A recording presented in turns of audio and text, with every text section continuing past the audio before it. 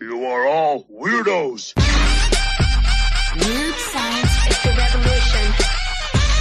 Weird science is the revolution. Hello, everybody, and welcome to the Weird Science Comics YouTube channel, where I'm going to be reviewing The Joker, the Man Who Stopped Laughing, number seven, written by Matthew Rosenberg, with art by Carmine G. Diamonico. And I don't think this is crazy to say, but I don't like clowns. I don't like clowns.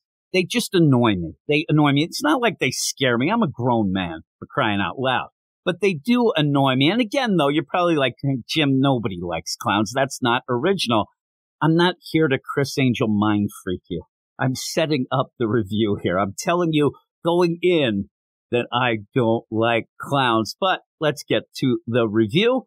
And please, before we get into this, if you haven't already subscribed to the channel, please do that. Like, the video, enable the notifications, and let me know what you think of this big bunch of garbage in the comments below. And if you don't know by now, this book just doesn't make me, it makes me completely insane, is what it does, because I think that it is just indicative of DC ripping people off. And also just the idea of them giving the reins to Matthew Rosenberg, who is a mid writer at best, who is taking advantage of having a character like the Joker as his solo book deal. And in the end, if anybody is buying this, I don't think they're buying it for Matthew Rosenberg. They're buying it just for the Joker and they're just getting fleeced. They're getting fleeced. But here we go.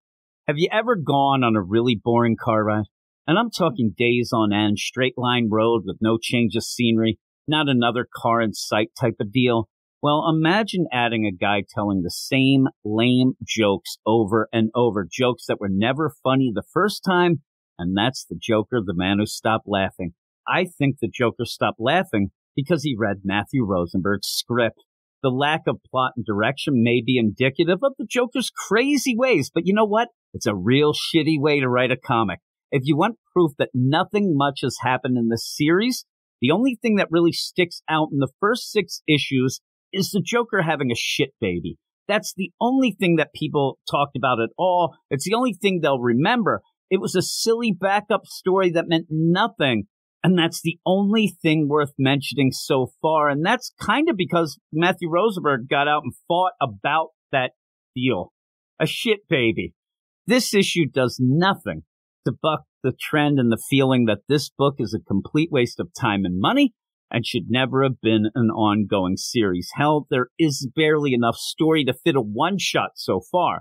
So, is there anything that happens? What happens in this issue? Well, for almost all of this issue, the Joker is chasing and fighting Kate Spencer, Manhunter. Now, Matthew Rosenberg does change this up a bit when he just has Kate Spencer chasing and fighting the Joker and then you reverse it again and do that. N- nothing goes on. Nothing goes on. This book is going nowhere slow. And, you know, you have all this going on. Besides all that, the scenes just continuously are filled with one note repeated lame jokes. Last issue, the jokes were all about LAX airport. You know, it, me here on the East Coast. Damn that LAX. I know all about that. Oh my goodness gracious. And it was it, it got cringeworthy. By the end, you're just like, come on, get over it. Let's go. I don't care how tough it is to get to LAX or how awful an airport it is. I live near Camden. I know when shit goes wrong, right? But in this issue, it's this meta social kind. The Joker is talking about Manhunter should be Woman Hunter, and they, it's just, it's, it's cringe worthier if that's actually a word. And if it isn't, I think it is now. Now, the Joker also goes out on a limb and makes fun of In N Out Burger. Again, something that's only in seven states, so most people have never tried it. I have. I was in Arizona once, and you know what? It was delicious. It was awesome. One of the best burgers I've had. So there. And I feel bad for the art team because Carmine DG Demonico tries their hardest to give this book some redeeming quality and really if you're going to buy this, I'm guessing it would maybe be for the art. And I say if you buy it, but I'd stay clear of this one at all costs and all costs, including the insane five ninety nine price tag that DC thinks people want to spend on this hot garbage. Five ninety nine. Now, the Joker, the Man Who Stopped Laughing, number seven, continues mucking about content to tell lame jokes while barely inching the overall narrative forward. The art is fine, but it can't be relied upon to do all the heavy lifting. Now, maybe this book isn't for me since I already told you I don't like clowns. Now, the twist here is, is I'm not talking about the Joker.